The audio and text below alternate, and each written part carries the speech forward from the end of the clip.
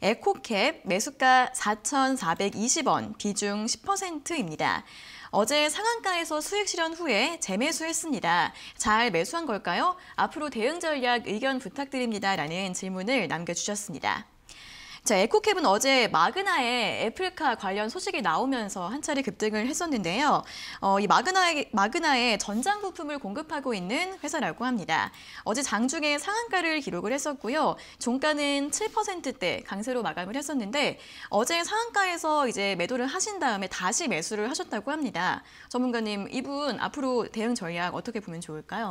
네, 이렇게 상한가에서 잘 정리를 하고 나서 이제 매수를 분명히 다시 할 수 있거든요. 종가 에서 매수하신 것은 충분히 잘 하셨는데 그 전에 그 이 매매 자체가 뭔가 여태까지 큰 추세를 보인다라고 하기보다는 오늘 하루 동안 또한 최근 일주일 동안, 3일 동안 이런 단기적인 흐름을 보고서 결정을 좀 해야 되거든요. 네코캡이 지금 이게 10분봉 차트입니다. 일봉이 아니고 10분봉 차트인데 상한가를 갔다가 이제 그때 어, 음봉으로 형성할 때까지 거래량이 사실은 만만치가 않아요. 그래가지고 원래는 이렇게 한번 급등했다가 내려오면은 그래도 이 정도 가격 정도는 좀 지지를 해줬어야지 오히려 좀 들어갈 수 있었는데 여기까지 빠졌을 경우에는 기왕이면은 오르기 전 정도까지는 눌릴 것을 좀 생각을 하셔야 됩니다. 딱 그 정도에서 지금 어느 정도 지금 오늘 가격이 딱 지금 그 정도에서 어느 정도 지지가 좀 나오고 있잖아요. 그러니까 에코캡이 자동차 부품이고 뭐 마그나 이슈 있고 뭐 이슈가 있는 건 알겠으니 이제 우리는 기술적으로 자리만 잘 잡으면 돼요. 지금은 오히려 이 4,200원 어, 오히려 여기가 어제 4,400원보다는 지금 이 정도 가격대가 가장 좋은 매수 타점이고 손절가를 잡는다라고 하면은 분봉산 저점인 4,000원 정도 잡고 들어가시면 되세요. 근데 지금 뭐 4,400원이어도 어제 상한가 수익 내시고 오늘 10% 정도 손절 잡으시면은 그래도 어, 실패한 투자는 아니기 때문에 일단 4,000원 손절가는 그대로 유지를 하시되 어, 만약에 4,200원 밑에 내려가는 다, 오늘 분봉으로 계속 지켜보셔야 됩니다. 분봉상으로 4,200원을 이탈하는 음봉이 나왔을 때 거래량이 좀 적지 않다, 거래량이 만만치 않다라고 하시면은 차라리 그 부분에서 좀 짧게 손절 치고 나오시는 게 훨씬 더 좋을 수 있는데요. 근데 반등이 나오면은 새롭게 뭐 어제 고가를 뚫고 더 간다 이런 흐름까지 보시는 것보다는 기왕이면 한 5천원 정도에서는 다시 익절하고 나오시는 게 좀 충분하기 때문에 일단은 목표가는 5천원 정도, 손절가는 4천원 내외 정도 제시해 드리도록 하겠습니다. 네, 이 종목 같은 경우에는 4,200원이 이탈되면 추가 하락 가능성이 있기 때문에 손절가는 4,000원으로 잡아드렸고요. 반등이 나왔을 때는 5,000원 정도에서 수익 실현하는 게 좋을 것 같다는 의견 드렸으니까 참고해 보시면서 가격 전략 세워보시기 바랍니다. 자, 이어서는 1379번님께서 보내주신 문자 확인해 보도록 하겠습니다. 한화 매수가 3450원, 비중 30%입니다. 조금 수익 중인데 지금 매도하는 게 좋을까요? 아니면 조금 더 기다려봐도 괜찮을까요? 라는 질문을 보내주셨는데요. 어, 하나 같은 경우에는 뭐 하나 솔루션이나 하나 시스템 이런 자회사들의 방산이나 항공 우주 산업 또는 어, 신재생 에너지 관련 산업들 좀 주목을 받을 것으로 보이는데 어, 이번 주와 지난 주에 상승 추세를 보였습니다. 오늘은 일단 보합권에서 움직이고 있지만 그래도 어, 조금의 양복을 보여주고 있는데요. 전문가님 하나는 지금 조금 수익 중이신데 매 매도를 하는 게 좋을까요? 아니면 조금 더 보유해 볼까요? 네, 한화는 요즘 지주사죠. 지주사고 네. 요즘에 한화 관련된 기업들이 어, 한화 밑에 있는 기업들이 주가 흐름이 굉장히 좋거든요. 오늘도 보시면 한화 시스템이 굉장히 좋고 하나 에어로시 하나 에어로스페이스도 좀 아주 요즘 흐름이 좋기 때문에 어 일단은 하나 그룹주 전체적으로는 그래도 반등 요인은 있다. 그리고 지금 매수가가 3만 450원인데요. 지금 가격이 3만 1,000원입니다. 사실 뭐 1, 2%밖에 수익이 안 났기 때문에 사실 여기서 뭐 재비용 제외하고 나머지는 거의 뭐 본전에서 나온다는 거랑 거의 다름이 없거든요. 일단 이런 대형주는 3만400원에 일단 이런 대형주 아까 제가 말씀드린 납폭 과대 측면보다는 그래도 지금 큰 변동이 없는 대형주에 지금 들어가 있는 상황인데 이러한 종목을 들어가는 마인드랑 그 다음에 3만 원대 지금 매수한 마인드는 일단 기본적으로 중기적 장기적으로 좀 지켜볼 수 있겠 지, 보겠다 그런 마음으로 좀 매수를 할 수 있는 구간이에요. 근데 이제 조금 올라와서 바로 매도를 어, 고민을 하실 거면은 종목 자체가 좀 성향이 좀 안 맞거나 아니면 다른 종목을 지금 매수할 게 생겨서 고민이 되시거나 둘 중에 하나이실 것 같은데 만약에 다른 종목 내가 지금 매수할 게 있다 하는 게 아니면은 저는 가급적이면은 그냥 가져가셔도 좋을 것 같아요. 웬만하면 그대로 가시는 게 좋을 것 같고 지금 매수가도 나쁘지 않고요. 종목 자체 흐름도 좋고 하나 계열사들이 요즘 흐름들이 전반적으로 좋기 때문에 일단은 지난번에 상승이 나왔었던 35,000원 부근까지는 어, 딱히 뭐 다른 거 당장 내가 이거 팔고 뭐 사야 돼 이렇게 좀 생각했던 게 없으면은 그대로 좀 가져가면 좋겠다. 그래서 목표가는 35,000원이고 손절가는 특별히 제시해드리진 않겠습니다. 네, 하나 같은 경우에는 그룹주들의 흐름이 최근 좋기 때문에 이 지주회사인 하나도 주가의 상승 추세 기대해 볼 수 있다는 분석 제시해 드렸습니다. 그렇기 때문에 따로 손절가 제, 제시해 주지 않으셨고요. 보유 전략으로 목표가 3만 5천 원 짚어드렸으니까 참고해 보시면 될 것 같습니다. 자, 계속해서 유튜브 댓글 상담 이어가 보도록 하겠습니다. 안녕하세요. 김상현 전문가님. 오늘도 차분한 목소리로 종목 처방 부탁드립니다. 현대로템 매수가 2만 400원, 비중 20%인데요. 몇 달째 박수권 움직임으로 너무 지루한데 전망 어떻게 보시나요? 라는 질문을 보내주셨습니다. 자, 현대로템은 이 철도뿐 아니라 최근에는 수소나 자율주행 등 신사업을, 신사업을 좀 확대하는 움직임 많이 보여주고 있는데요. 어, 주가는 올해 초에 한번 상승 추세를 보이고 나서 한 2만 원 선 초반대에서 3개월 정도 횡보하는 모습을 보이고 있습니다. 자, 오늘은 현재가 2만 500원 기록하면서 매수가랑 비슷한 어, 구간에 들어와 있는데 전문가님 이분은 굉장히 좀 지루하다고 하시는데 전망 어떻게 보면 좋을까요? 네, 그 전체적인 차트 흐름을 보면은 지루하다라는 걸 바로 느낄 수가 있습니다. 음. 근데 현대로템은 이제 방금 말씀해 주셨듯이 뭐 철도도 있고요. 그다음에 수소 관련된 이슈, 뭐 전기 관련된 이슈 뭐 전부 다 지금 포함이 좀 되어 있고 그다음에 일단은 뭐 이제 인프라 관련돼서 또 이슈를 좀 받을 수 있고요. 철도 같은 경우들은 이미 뭐 철도가 다 깔릴 만큼 깔리지 않았냐 해도 어, 이 철도는 또 새로운 철도로 업그레이드가 되기 마련이고 어, 산업 자체 사이클 자체가 굉장히 크고요. 그 다음에 지금 가격이면은 충분히 지금 뭐 들어갈 수 있는 가격이고 기다릴 수 있는 가격이고 업황 자체도 충분히 기대해 볼 수가 있습니다. 근데 지금 제일 큰 문제가 지루하다라는 건데 지금 이 차트를 자세히 보시면 지금 이게 일봉이고요. 일봉상 보면은 2021년 어, 초반부터 지금까지 거의 변화가 없습니다. 거의 변화가 없고 그 다음이 이제 주봉입니다. 주봉으로 보면은 어 그래도 이 주, 지금은 주봉이지만은 이게 주봉이 아니고 내가 다른 종목을 보다 일봉 차트라고 생각을 해보십시오. 그러면은 갑자기 그날 상한가 같은 거 한번 나왔다가 어느 정도 조정 나오고 다시 한번 그래도 상승 노려볼 수 있는 구간이다. 이제 이렇게 좀 보일 수가 있죠. 그 다음에 더 확장해서 월봉으로 바꿔보겠습니다. 이게 월봉이 아니고 또 일봉이다라고 생각을 해보면은 어, 월요일 날 급등했다가 어, 화요일 날 어느 정도 다시 한번 상승 나오고 수요일도 이어지네 이렇게 생각을 할 수가 있거든요. 그러니까 종목 자체가 지금 느림이 움직임 좀 느려서 그렇지 전반적인 흐름을 봤을 때는 이제는 이제 바닥권에서 상승을 좀 돌려주고 있는 흐름이기 때문에 어, 여기서 매수를 하면 매수를 했지 빨리 매도하고 나갈 자리는 아닙니다. 그래서 일단 시간이 시간이 문제지 종목 자체적으로는 기다리시면 충분 충분히 기다릴 수 있고요. 그래도 너무 지루하다 싶으시면 올라왔을 때 10%에서 20% 수익권에서 좀 비중 정리를 하시고 어, 조금 더 확장해서는 2만 8천 원 정도까지 목표가 잡을 수 있으니까요. 어, 이 종목은 시간이 가장 큰 단점이다. 그 정도만 체크하시면 좋을 것 같습니다. 네, 현대로템은 수소나 로봇 그리고 인프라 등 관련 모멘텀이 굉장히 많고 또 지금 매수가도 충분히 진입 가능한 구간이기 때문에 보유해도 괜찮다는 의견을 드렸습니다. 하지만 좀 시간이 오래 걸릴 수 있다는 점 염두에 두시고요. 좀 길게 봤을 때는 목표가 2만 8천 원 정도로 제시해 드렸으니까 어느 정도 보유하실지 판단에 따라서 어, 대응 전략 세워보시면 좋을 것 같습니다. 자, 이어서는 5365번님께서 보내주신 문자 확인해 보도록 하겠습니다. 카카오 매수가 48만 2천 원, 비중 30%입니다. 어, 방송 보니까 액면 분할하면 빠질 수 있다고 하는데 지금 매도하고 나중에 다시 매수해야 할까요? 라는 질문을 보내주셨습니다. 자, 카카오 같은 경우에는 다음 달 15일에 액면 분할을 앞두고 있죠. 액면 분할 한 뒤에 주가의 방향성이 어떻게 흘러갈지 좀 여러 가지 분석들이 나오고 있는 것 같은데 일단 오늘 주가는 다시 한번 50만 원 선을 터치를 하고 있습니다. 이분 그래서 지금 수익 중이신데 이제 액면 분할 앞두고 어떻게 대응을 하면 좋을지 궁금하신 것 같아요. 전문가님 어떻게 보시나요? 네, 모두가 해당되는 건 아닌데 네. 지금 이 시청자님 같은 경우는 해당됩니다. 매도하고 나중에 매수하는 게 맞아요. 음... 어. 그 만약에 카카오를 정말 싸게 사신 분들, 뭐 진짜 하다못해 30만 원, 40만 원 밑에서 사신 분들은 분할을 하든 말든 그냥 가져가시면 되죠. 가져가시면 되세요. 근데 이거 45만 원, 뭐 48만 원, 50만 원 이 정도에서 매수하신 분들은요.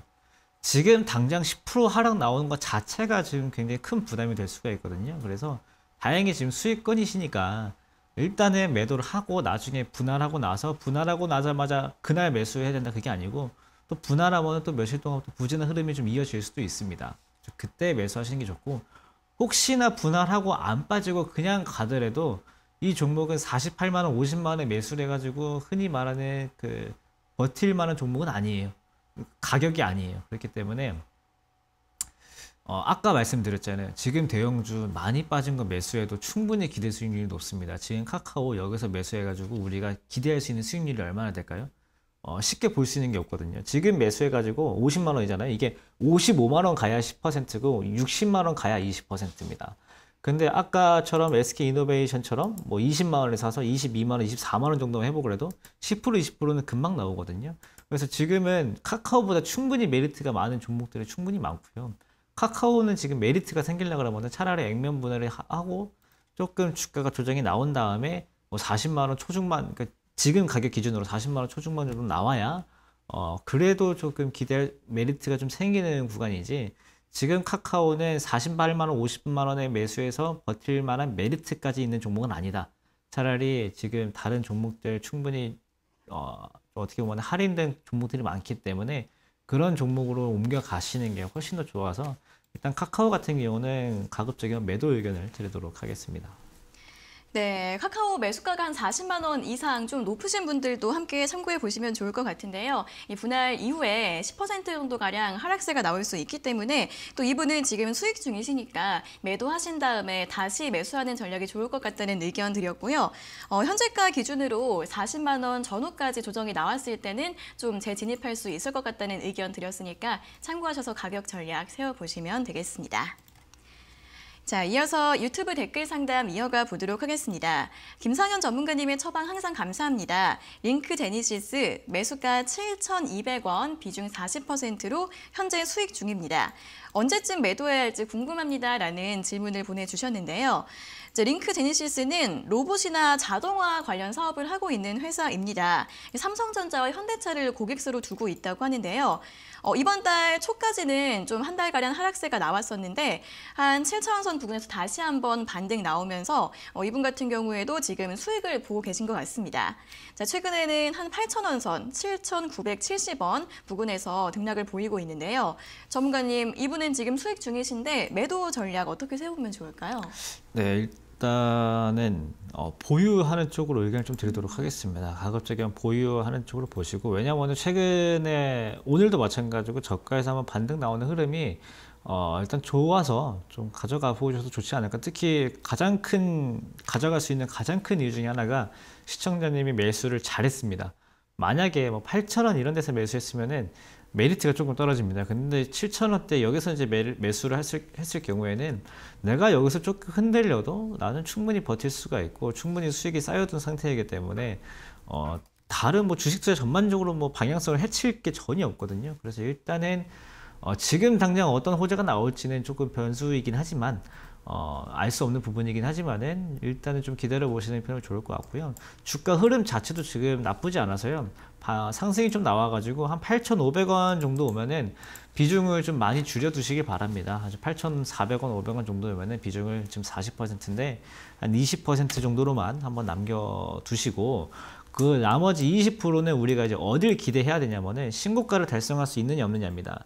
이 종목이 일단은 9,000원 이상 올라오게 되면은 이, 어, 9,000원에서 끝날 게 아니고 만 원 이상까지는 올 거거든요.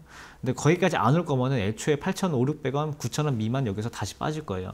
그러면 이제 그때는 다 정리를 하되 9,000원 넘어가고 9,000원 중후반까지 왔다 왔다 그러면 그 종목은 만 원이 넘어가려고 하는 흐름이기 때문에 일단은 최종적으로는 뭐 만 천 원 정도까지는 볼 수는 있겠으나 일단은 9천원 돌파 여부가 굉장히 중요하고 그 전에 8,400원 정도 에서 수익을 좀 챙겨두지 않았는 말씀을 좀 드리고 싶고요. 그다음에 혹시나 상승이 안 나오고 다시 한번 매물이 좀 많이 빠진다 싶을 경우에는 지금 여기 있는 이제 이, 한 21선 정도, 한 21선 정도 7,700원, 600원이거든요. 그 정도까지 다시 내려와서 빠진다고 하면은 일단은 매도를 한번 해보시고요. 정말 그리고 내가 링크 제네시스가 계속 눈이 간다. 빠져서 내가 매도를 했는데도 계속 눈이 간다 싶으시면은 지금 단기적으로 흐름 보여주는 것을 확인하고 다시 매수하는 게 낫습니다. 그래서 그때 어, 혹시나 손절, 손절이 아니고 7,600원에서 매도하게 됐을 경우에는 단기 쌍바닥 확인 이후에 재매수하자라는 의견 드리도록 하겠습니다. 네, 일단 현재 구간에서 보유 의견을 제시해 드렸습니다. 지금 비중이 40%이신데 한 8,500원까지 상승이 나왔을 때는 비중을 한 20% 정도로 줄여 주시고요. 나머지 비중은 주가 흐름을 더 보면서 대응을 해 주시면 좋을 것 같은데 9,000원이 돌파하면 만원 선 이상까지도 상승 가능성이 있다고 합니다. 그러니까 9,000원 돌파 여부 확인해 보시고요. 최종 목표가는 11,000원까지 제시해 드렸으니까 주가 흐름 보면서 대응 잘 해 주시면 되겠습니다. 자, 이어서 1484번님께서 보내주신 문자 확인해 보도록 하겠습니다. APS 홀딩스 매수가 9,680원, 비중 20%입니다. 어, 최근 다행스럽게도 주가가 잘 상승해서 손실분을 많이 회복됐는데 매도 시기랑 매도가 부탁드립니다 라는 질문을 보내주셨습니다. 자, 오늘은 현재가 9,410원 기록하고 있습니다. 어, 9,680원이시면 작년 여름쯤에 매수를 하신 것 같은데요. 이 APS 홀딩스는 OLED 장비 회사 AP 시스템의 모회사죠. 어, 최근에 OLED 관련주들도 좀 주목을 받고 있는 섹터 이중 하나인데 오늘은 현재가 9,430원까지 올라와서 손실을 정말 많이 회복하셨습니다. 전문가님, 이분은 어, 이제 주가 추가 상승 좀 기대해 봐도 괜찮을까요? 일단은 매수가 회복이 제일 중요할 것 같습니다. 네. 매수가 회복해 하고 나서 가급적이면은 좀 매도를 했다가 어, 나중에 다시 보시는 게 좋을 것 같은데 최근에 이제 흐름들 보면 일단 업황 자체는 나쁘지 않습니다. 뭐 많이 자주 언급드렸던 LED 관련, OLED 관련 이제 섹터이기, 섹터이기 때문에 업황은 좀 좋게 보셔도 되시는데 문제는 주가 흐름이 이 종목이 지금 최근에 계속 만 원 못 넘어갔습니다. 최근 1년 넘게 만 원을 못 넘어갔고 만 원만 되면은 이제 매물에 부딪히는 흐름들을 보여줬기 때문에 일단은 만 원만 회복이 되면은 좀 반사적으로 매도를 좀 하셨다가 어, 시나리오를 그려야겠죠. 일단은 지금은 만 원은 간다라는 시나리오를 전제로 어, 좀 시나리오를 짜야 되는데 만 원에 갔다가 이제 빠질 가능성이나 이제 올라갈 가능성이죠. 만약에 올라가든 간에 빠지든 간에 어, 크게 신경 쓰지 말고 일단 만 원 정도에서는 일단 매도를 좀 하시고요. 만 원 이후에 빠졌을 경우에는 다시 한번 8천 원 중반까지 조정이 나오면은 그때 매수를 다시 하셔도 괜찮습니다. 다만 만 원 이상 올라간다고 해서 바로 쫓아갈 필요는 또 없어요. 만 원 이상 올라가면은 지금 최근의 흐름들을 보면은 어, 최근의 흐름을 전체적으로 그려드리면은 많이 빠졌다가 반등이 나왔다가 저점을 한번 여기서 높여주고 그렇지만 저점을 한번 높여줬지만은 다시 여기서 저점을 다시 깨버렸거든요. 이렇게 저점 한번 깨버렸으면은 여기서 이만큼 빠진 것을 그대로 원웨이로 회복하는 데에는 매물이 굉장히 두꺼워서 사실상 어렵다라고 보셔야 돼요.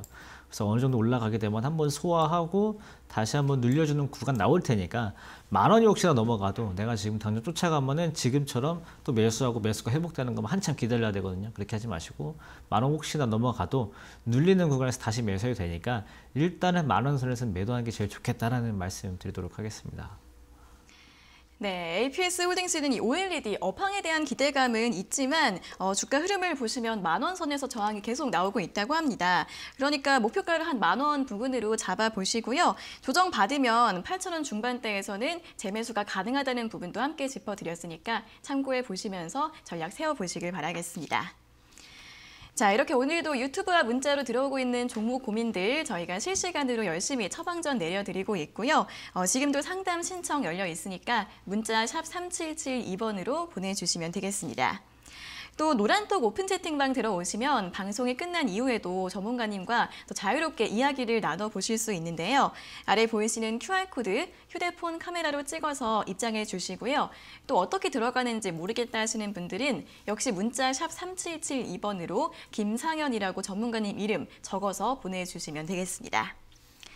자, 그리고 저희가 이렇게 전해드리는 투자 정보는 여러분들께 도움을 드리기 위한 참고 자료입니다. 투자 여부에 대한 결정은 여러분 각자의 판단으로 하셔야 한다는 점 다시 한번 알려드리겠습니다.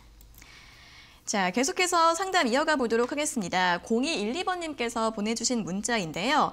안녕하세요. 한세 실업 매수가 22,400원, 비중 20%인데요. 의류 쪽 호재가 있을 거라고 해서 들어갔는데 너무 고점에 들어갔는지 자꾸 떨어지네요. 주린이는 너무 무서워요. 라는 문자를 보내주셨습니다. 자, 의류 업체들이 지난달부터 좀 여- 여러 가지 종목들이 많은 상승세를 보여왔습니다. 한세실업도 어, 2월 중순부터 어, 3월 중순까지 가파르게 좀 상승을 했다가 지난주부터는 좀 조정이 나오고 있는데요. 의류 OEM 업체죠. 이 OEM 사업에 대해서 기대감이 높다라는 분석 나오고 있습니다. 전문가님 이분 이제 매수가가 좀 높으셔서 많이 무서워하고 계시는데 전략을 어떻게 봐도 보면 좋을까요? 네, 일단은 매수를 하기 전에 네. 내가 지금 올라가서 밟아, 밟아야 할 땅이 어딘지 한번 확인을 하고 가셔도 좋을 것 같아요. 지금 매수할 당시에는 이제 22,000원이 그렇게 높아 보이진 않았지만 22,000원 뒤에 좀 빠지니까 지금 높아 보이는 건데 어, 사실 지금 보면요. 여기 작년 여름, 1년 전에, 딱 1년 전에서는 11,000원이었습니다. 여기서 2만 원까지 왔고, 빠졌고, 요만큼 올라와서 지금 여기에 계시는데, 이 정도 내려왔는데 되게 무서워하시는 거거든요. 어, 되게, 되게 미비해요, 사실. 굉장히 미비한 구간이고, 업황 자체가 좋다는 거 맞습니다. 좋기 때문에 이만큼 올라온 것이 맞아요. 근데 그 최근에 주식 투자를 시작하신 분들이 자꾸 고점에서 매수를 하는 습관이 왜 있을까? 왜 자꾸 그럴까?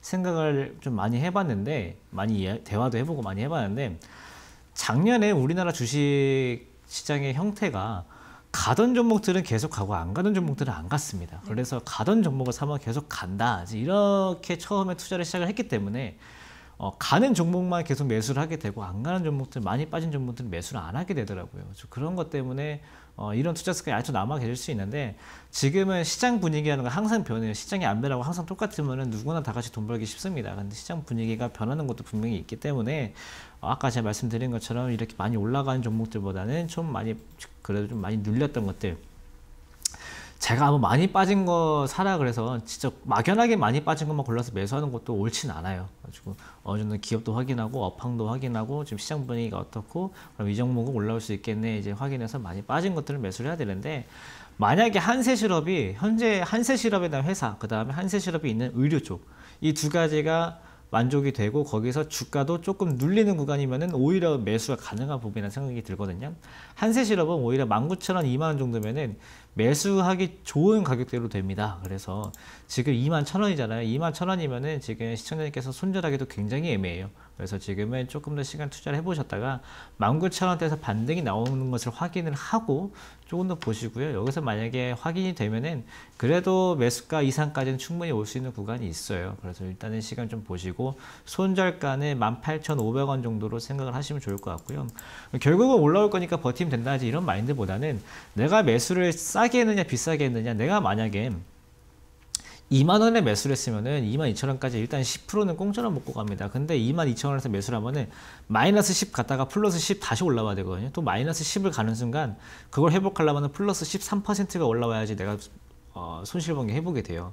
일단 매수가 자체가 굉장히 중요한 게 주식이라서 가급적이면은 다음부터는 조금 빠진 것들 위주로 보시고 손- 일단 지금 당장으로는 손절가는 18,500원 정도 목표가는 일단은 고점 돌파 이후에 재확인이 필요한 구간 그래서 좀 잡을 수 있으면 25,000원 정도 보시면 좋을 것 같습니다. 네, 매수가가 좀 고점 부근이시긴 한데 그래도 그렇게 크게 많이 하락한 건 아니니까 너무 걱정하지 마시고 조금 더 주가 흐름을 지켜보시고요. 19,000선 부근에서 반등이 나오면 매수가까지 충분히 회복 가능하니까 조금 더 기다려 보시고 손절가는 18,500원 그리고 목표가는 25,000원 정도로 제시해 드렸습니다. 자, 이어서는 3021번님께서 보내주신 문자 확인해 보도록 하겠습니다. LG화학 매수가 80만 9,600원, 비중 10%입니다. 오늘 수익권에 들어왔는데요. 매도 적정 시기가 얼마일지 궁금합니다. 가격 전략 꼼꼼하게 알려주세요. 라는 문자를 보내주셨습니다. 자, LG화학 같은 경우에도 지난달부터 계속해서 하락세가 나왔고요. 어, 지난주에 77만 원까지 기록을 한 뒤에 반등이 나와서 80만 원 선 다시 한번 회복을 하고 있는 모습입니다. 어, 오늘 같은 경우에는 1분기 영업이익이 1조 원에 돌파할 것이다. 이런 좀 긍정적인 분석 리포트도 나오고 있는데 하지만 오늘 오늘 모습은 음봉을 보이고 있네요. 전문가님, 이분은 다시 한번 이제 회복이 되셨는데 매도를 언제쯤에 하면 좋을까요? 일단은 LG 화학이 지금 그래도 수익권이잖아요. 네. 사실 LG 화학이 제가 손실권이신 분들이랑 수익권이신 분들이랑 의견 듣는 게 굉장히 차이가 큽니다. 어, 만약에 이제 SK 이노베이션이나 삼성 SDI를 가지고 계신다라고 하면은 수익권이시든 손실권이시든 일단 그대로 가져가세요라고 말씀을 좀 드리지만은 LG 화학은 수익권이신 분들은 가급적이면 매도 의견을 드리는 편이에요. 왜냐면은 LG 화학은요 배터리 3사 중에서 어, 가장 낙폭이 적었고요. 가장 낙폭도 적었지만은 앞으로 LG 에너지 솔루션이라는 회사를 다시 이제 기업 공개를 하게 되는 이런 이슈가 다시 한번 오기 때문에 다른 종목들에 비해서 그게 크게 막 메리트가 있냐라고 봤을 때 아니에요. 그러니까 좋습니다. LG 화학 지금 좋은데 배터리 3사 어차피 배터리 3사 삼성 SDI, SK 이노베이션, LG 화학 중에 골라라 라고 하면은 저는 그 중에 3등이에요. LG 화학은 그렇기 때문에 LG 화학은 지금 좀 올라와서 84만 원 정도까지 올라오면은 수익을 챙기시는 편이 좋겠고 아니면은 뭐 SK 이노베이션이나 삼성 SDI가 좀 빠진다 싶을, 때 오히려 종목을 그런 쪽으로 바꾸는 게 훨씬 더 좋겠다라는 말씀 생각이 좀 들어서요. 어, 일단 사실 뭐 나는 LG 화학이 아니면 안 된다. 이런 거 아니면은 가급적 종목 교체. LG 화학을 웬만하면 가져가고 싶다라고 생각이 드시면은 일단은 85만 원 정도에서 한번 85만 원에서 88만 원 정도에서는 저항이 한번 나올 수는 있고요. 올라와도 신고가 돌파하는 흐름보다는 가급적이면 90만 원 초중반대에서는 매도하시고 나오시는 편이 좋겠다는 말씀을 드리도록 하겠습니다. 네, 전기차 배터리 3사 내에서도 좀 대응 전략을 달리게 해야 한다라는 분석을 드렸습니다. LG화학의 이제 배터리 분야가 분할된다는 점, 그리고 이 3사 중에서 낙폭이 가장 적었다는 점, 좀 리스크 관리 필요할 것 같고요. 그렇기 때문에 지금 수익권이신 분들은 매도 전략을 제시해 드렸는데, 이 85만 원에서 88만 원 선 부근에서 저항이 나올 수 있다는 점, 그리고 이제 목표가는 90만 원 정도로 잡는 게 좋을 것 같다는 의견 드렸으니까요. 참고하셔서 가격 전략 세워보시길 바랍니다. 하겠습니다. 자, 계속해서 3157번님께서 보내주신 문자 확인해 보도록 하겠습니다. 안녕하세요. SK 바이오팜 매수가 10만 8,500원에 비중 15%로 샀는데요. 저점에 잘 산 거 아닌가 싶었는데 자꾸 떨어지네요. 어떻게 하면 좋을까요? 라는 질문을 보내주셨습니다.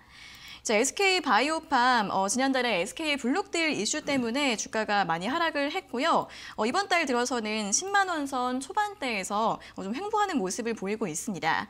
이번 달에 매수를 하신 것 같긴 한데 일단 오늘은 어, 현재가가 10만 4,500원이라서 좀 손실을 보고 계시고요. 오늘 어, 뇌전증 치료제 유럽 판매허가 소식이 나오긴 했지만 역시 개장 이후에 상승 탄력이 좀 떨어지고 있는 모습입니다. 전문가님, SK 바이오팜은 이번 대응 전략 어떻게 세우면 좋을까요? 볼까요? 어, 일단 매수를 할 때그 네. 많이 빠진 것들 특히 저점에서 매수를 한다라는 마인드는 내가 여기서 샀을 때 기대되는 수익률이 높기 때문에 일단 매수를 하는 겁니다. 많이 빠졌기 때문에 그래도 반등이 나오면은 어느 정도 회복이 된다고 했을 때 그마, 그만큼의 기대 수익률이 나온다. 이런 기사인데 일단 지금 당장은 블록딜 이슈가 시장을 지배하고 있어요. 어, SK 바이오팜 시장에서 이 블록딜이라는 뉴스가 굉장히 큰 길목을 막고 있지만은 제가 예전에도 말씀드렸지만은 이 블록딜을 했던 그 가격이 이 주식의 고점이 된 적은 없습니다. 거의.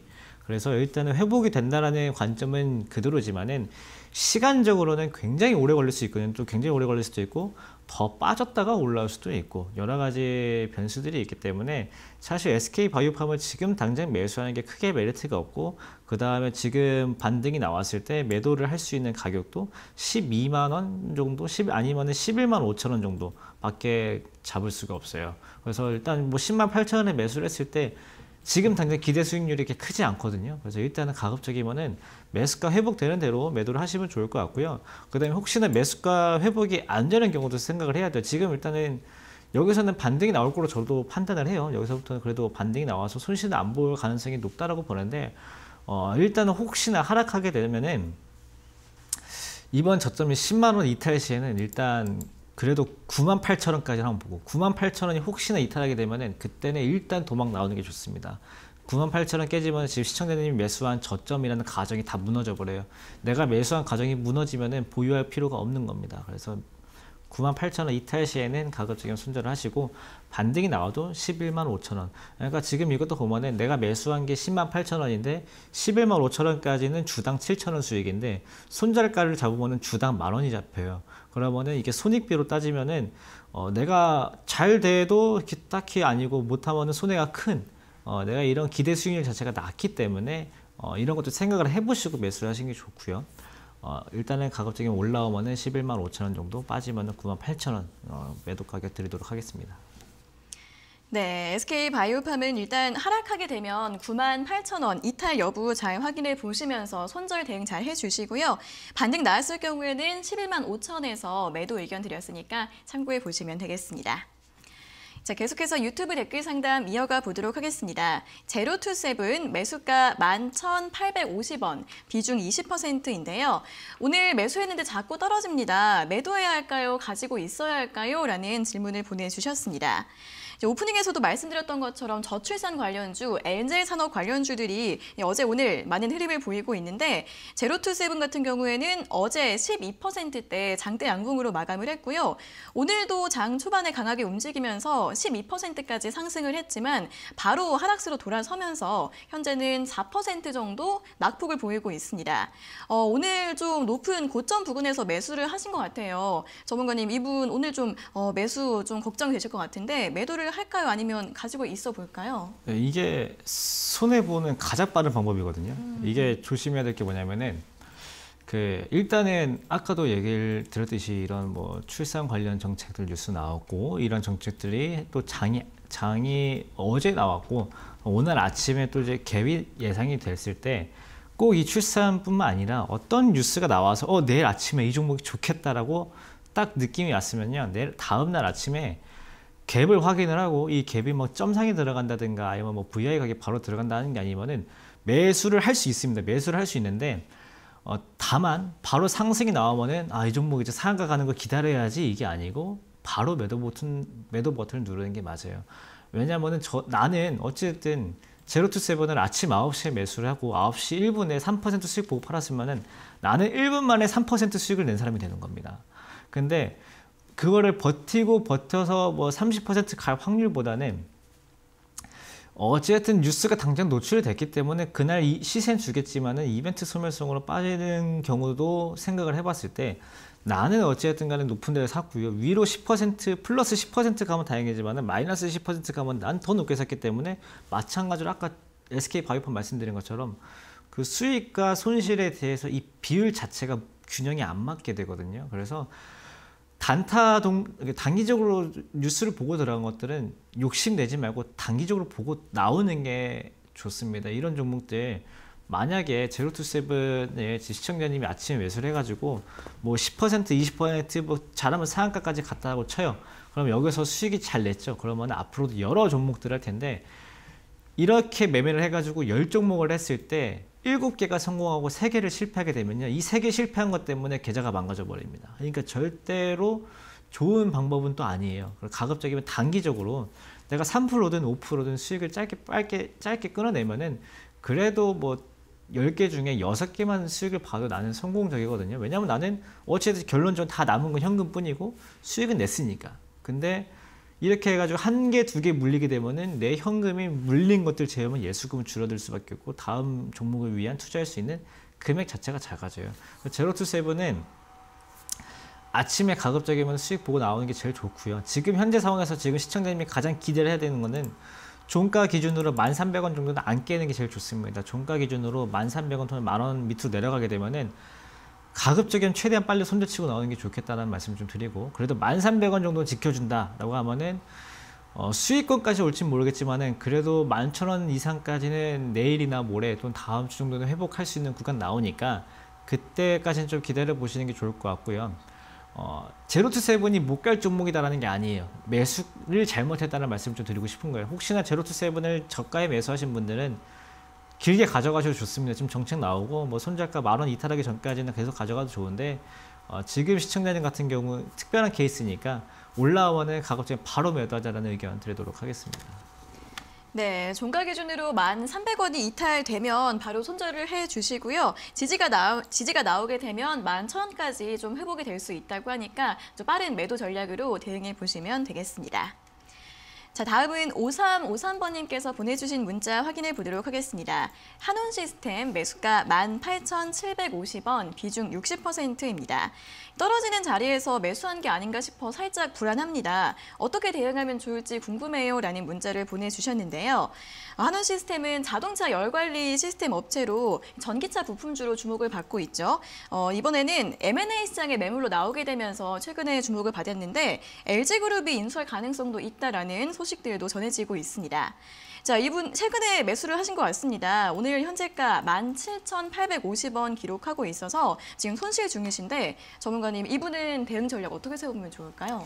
일단은 제가 지금 말씀드린 게 100%는 아니지만은 이 M&A라는 뉴스가 나왔을 때 어, M&A도 마찬가지고요. 지금 공통점이 뭐냐 M&A 또는 뭐 무상증자 이런 이슈의 공통점이 뭐냐면은 주가가 원래 좋았던 것들이 이런 이슈가 나오면은 오히려 좀 빠지게 되는 경향들이 있고요. 주가가 한참 하락세였던 종목들이 이런 뉴스가 나오면은 뭐 상한가 또는 이연상 이렇게 흐름들이 나오기도 하거든요.